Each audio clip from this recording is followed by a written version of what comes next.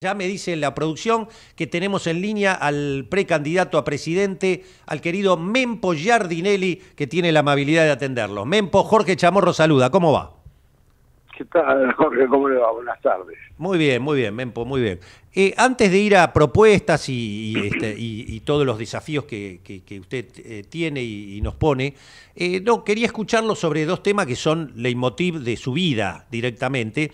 Esto del gasoducto, que es una obra importante, y también la compuerta esta de 700, 800 toneladas que para las Fuerzas Armadas ha realizado el astillero Río Santiago, que también es, es otro, otro éxito de un modelo de desarrollo nacional y popular. ¿no? Eh, ¿Qué opina Mempo de todo esto?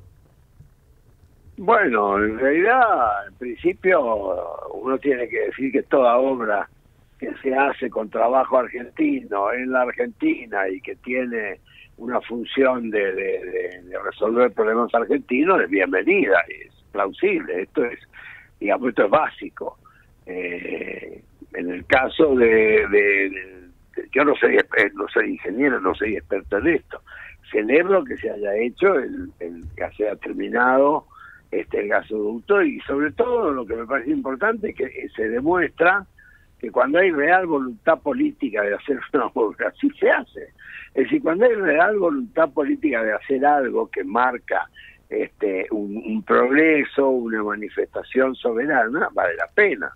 No puedo dejar de preguntarme por qué no hay ese mismo entusiasmo para recuperar el río Paraná o por qué no lo hay para este, habilitar el, el, el canal Magdalena presidente Fernández nos ha tenido prácticamente cuatro años con que siempre se hacía, se hacía, se hacía, hizo un acto incluso en el puerto de Ensenada que iba a hacerlo y nunca lo hizo. evidentemente el, decreto 949, que es el que impide eso, este que lo sancionó el presidente Fernández, sigue vivo.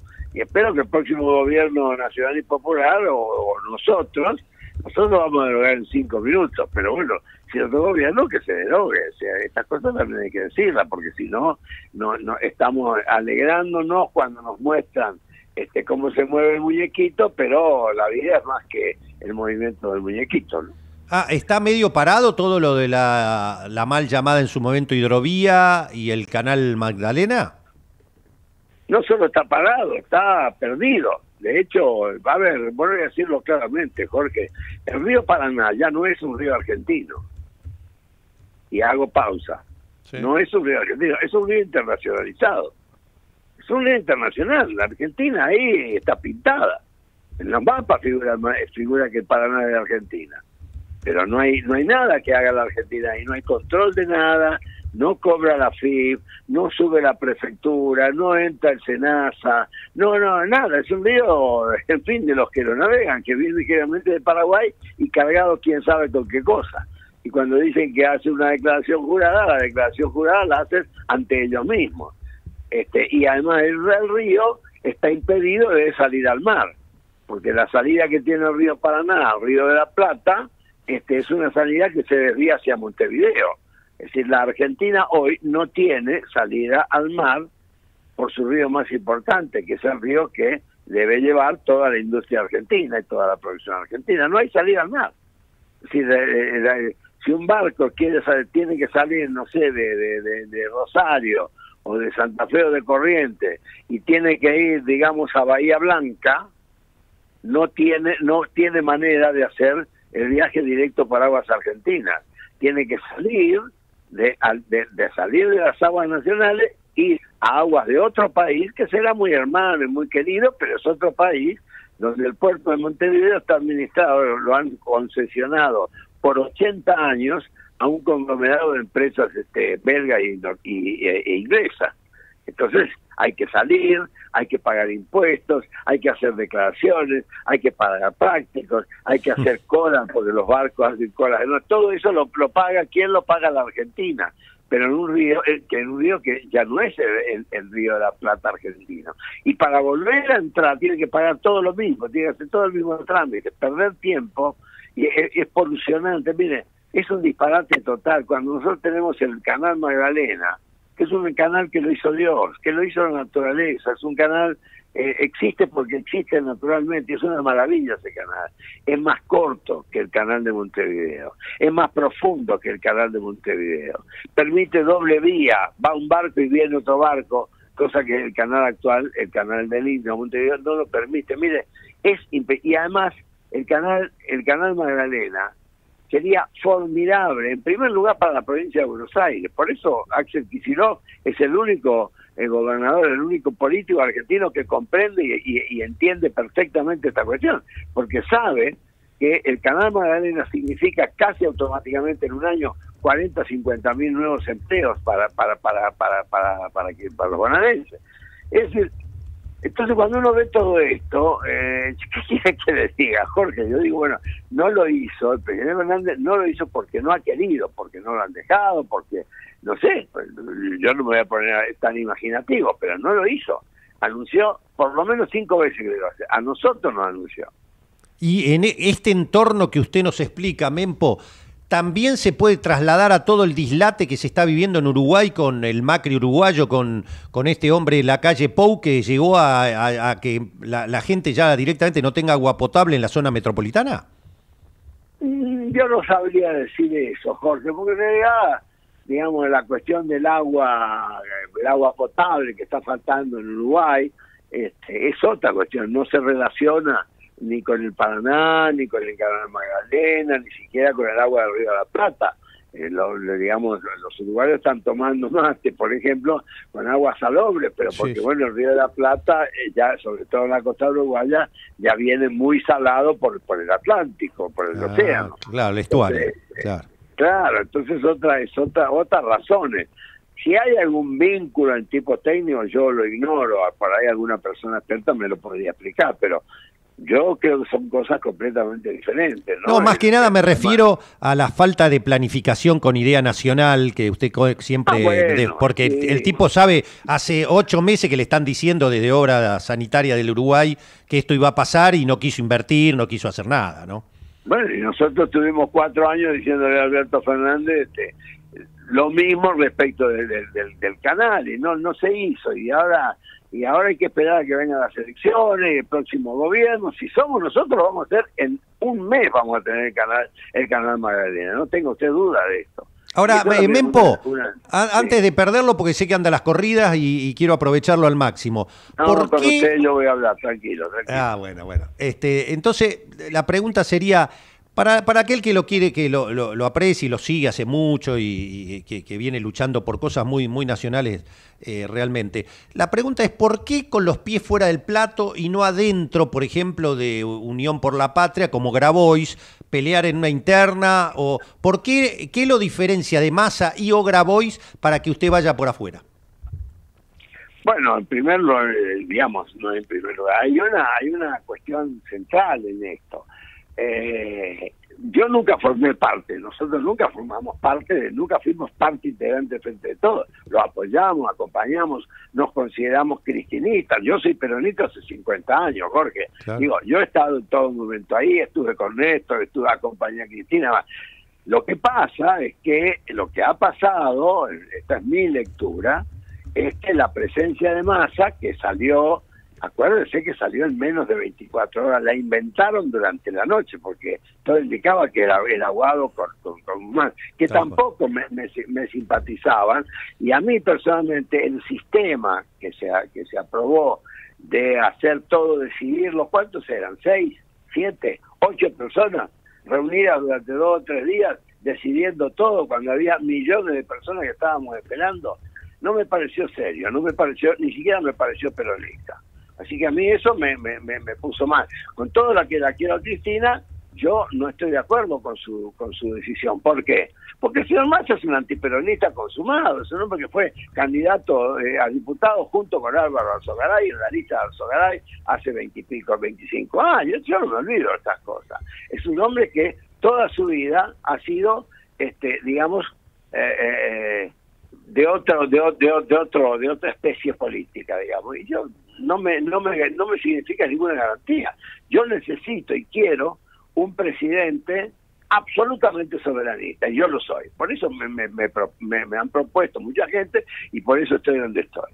Acá hay que defender la soberanía absoluta. Yo quiero un presidente, y yo lo voy a hacer, me comprometo, que en las primeras horas voy a llamar a una nueva constitución nacional, a un nuevo sistema judicial, a una eh, nacionalización del litio, el, el oro, el cobre, eh, el petróleo, hay que nacionalizarlo. Si lo hace todos los países, Chile lo hace, Brasil lo hace, México lo hace, ¿por qué nosotros no? ¿Qué somos? Somos los idiotas de la película y yo no quiero que en mi país y mi pueblo este, se sientan, lo, acepten ser los idiotas de la película.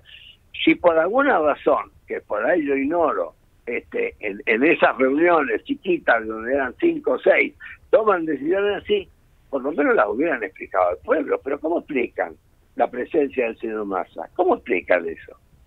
Ahora, no, sí, no, no tengo duda. Lo conozco a y sé que sé el, la persona, pero, pero Massa no, Massa, en fin, Massa, me, quiero decirlo con toda delicadeza, Massa me parece que es un candidato este, eh, eh, eh, de, de otros sectores con los que yo no simpatizo.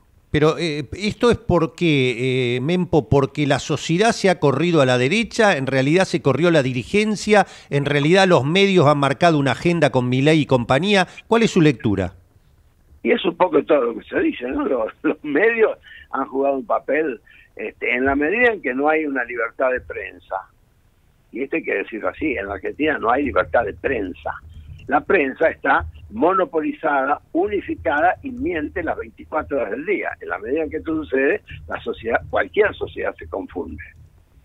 Primera cuestión. Segunda cuestión, si usted tiene una, una, una sociedad que está confundida, que está desinformada, que no le dicen la verdad, que le meten perro todos los días y que le inventan candidatos en una noche y que esos candidatos lo venden como si fuera el prodigio, o sea, lo mismo que Néstor, y no es lo mismo que Néstor. No, no es lo mismo, absoluta, no es lo mismo que Cristina, ni ahí.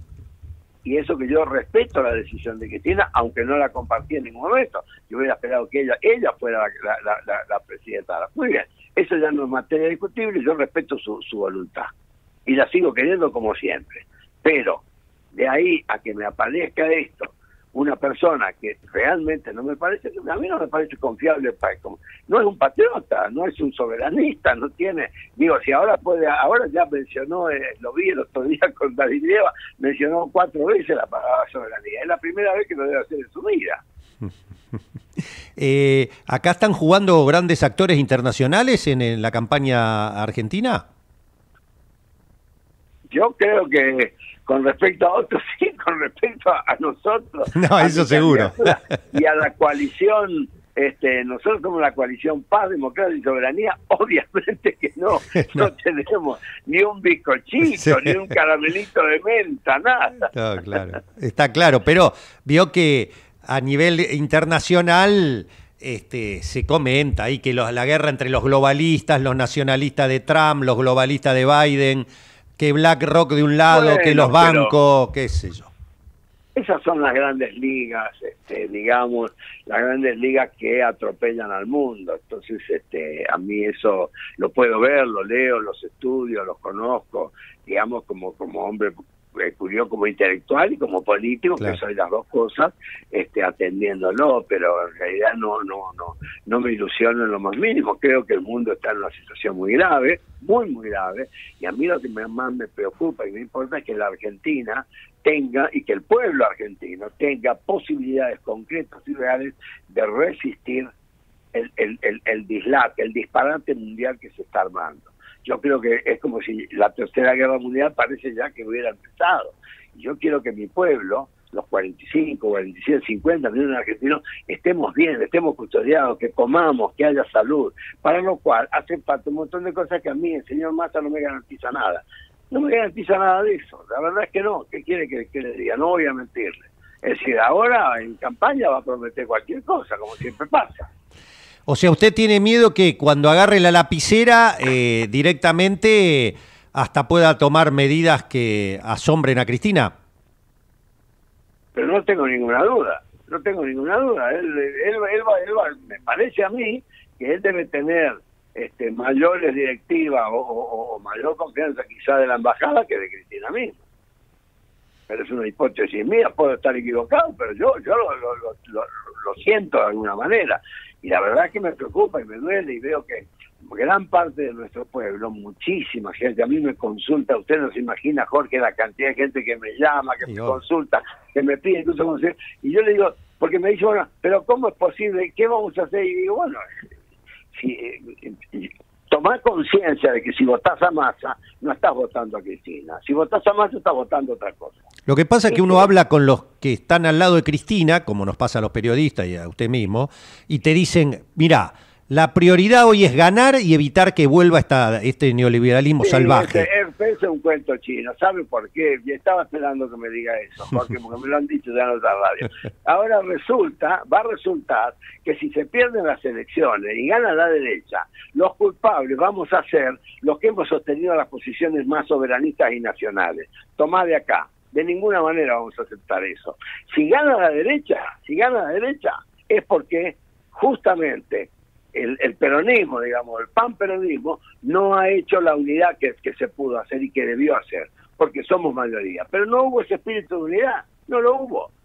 Porque donde usted pone a Massa en primer lugar, lo tenía Mansur antes. Cuando usted pone todo una, una cosa donde todo se decide entre cuatro paredes, entre cuatro o cinco personas, cuando la principal líder tiene las razones que debe tener y que yo la respeto, repito, para no ocupar el lugar que el pueblo está esperando, pero entonces hubieran previsto esto, se hubiera llamado a una, a una gran interna nacional terrorista que hubiera sido extraordinaria. Y no hubiera ganado el más hubiera salido octavo, no tenga ninguna duda de que esto hubiera sido así.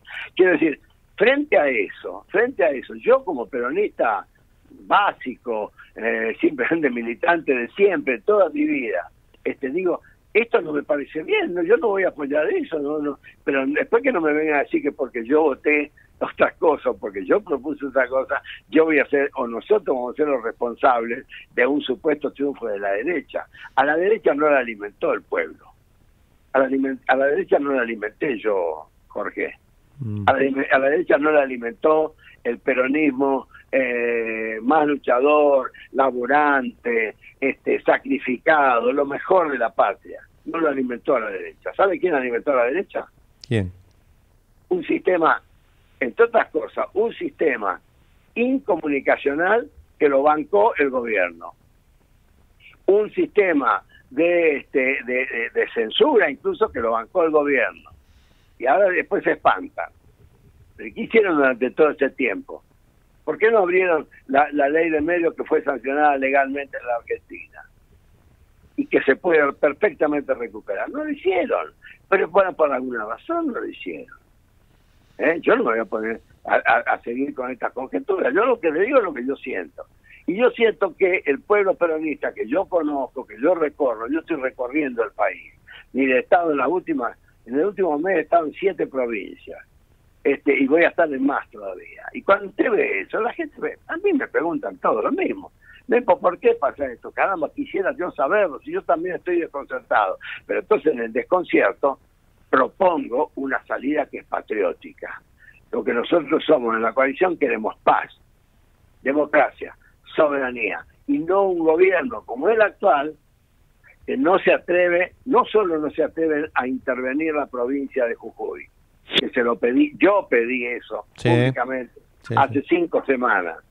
No se atreven a liberar de una vez a esa pobre mujer que es Milagro y que debería estar en el Favaloro en este momento curándose, y no como la tienen, que la quiere matar. Este gobernador quiere que ella se muera, evidentemente. el gobierno nacional no ha dicho una palabra. ¿A usted le parece que no? eso es tremendo. ¿eh? Es tremendo, sí, realmente. Realmente. Entonces, ¿qué va a hacer? Y todo porque para, para cuidar al que quiere ser vicepresidente con la reta, pero es un disparate total esto. Y no lo dicen, se callan la boca. Entonces, esto es un peronismo que a mí no me gusta, esto no es peronismo. Esto no es peronismo, esto no es lo que el pueblo necesita.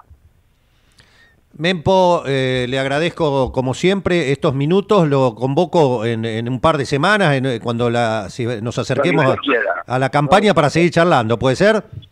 Cuando usted quiera, no hay problema. Gracias, Mempo, siempre un gusto escucharlo. Un gran abrazo. Bueno, el precandidato a presidente Mempo Giardinelli dejando eh, bien claro su posición sobre este tema.